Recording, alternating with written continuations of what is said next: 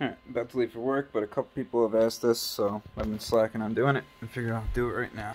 For both style orbiters, either the purchased one from like Triangle uh, Labs or whatever, um, printed solid, AliExpress, all them, or the printed design that uh, I made that's modified of uh, Jake Allen's version and, and Tom Jones. Um, the uh, and then me and Jake are probably collabing together and trying to come up with a new cam lock setup. But either way, it's the same concept. For TPU, you want it to be as pretty much as loose as possible. But for all other filaments, I literally load through my Bowden tube from my dry box. So I'll push it all the way through that PTFE and it'll grab. Basically what I do is heat up the hot end, unload the filament, filament's unloaded. So what you do is loosen this. You have a little bit of play back and forth. Start tightening it. Still a little play. You'll feel it kind of because it, it, it's you don't want any real spring pressure at this any spring pressure at this point. So you'll feel like right there is it just caught. So go like maybe another half turn just for good measure.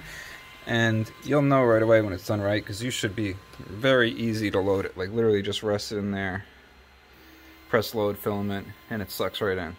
There shouldn't be any forcing or whatever. And then now when you load filament, you shouldn't have to loosen it and play with it. You should never have to touch that even with TPU, like I said, I, I, really don't mess with it, but sometimes I'll go a little looser.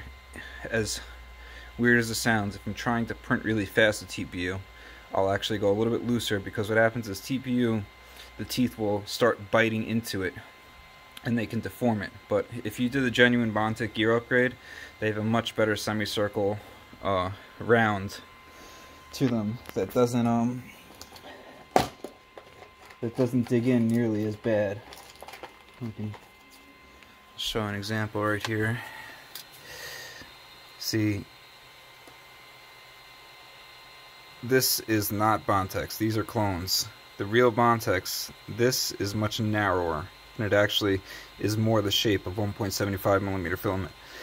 I don't know if they made these so it could work for 2.85 and 1.75, and that's why the clones are like this, but supposedly the new LDO um, 1.5s are coming with now the 1 amp 20 millimeter motor and uh, the was a 17 millimeter 1 amp motor.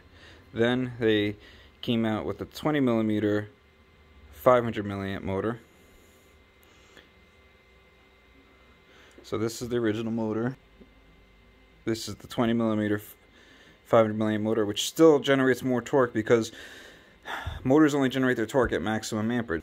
I mean, the 1 amp 20 millimeter motor, I don't know if it's going to be better. I almost think the 500 milliamp motor might be better because we're going to be running it at our maximum current. You only have so much mass to sink that much current into. So, unless I'm wrong and we can actually run that motor at 800 milliamps or close, you know, 80% or higher of its uh, current rating, better off trying to stick with the 20, amp, 20 millimeter 500 or once again I just run the 17 millimeter original ones and I had no problem you know like I said I mean 46 millimeters uh, cubic uh, a second with uh, with TPU is pretty high pushing force you know?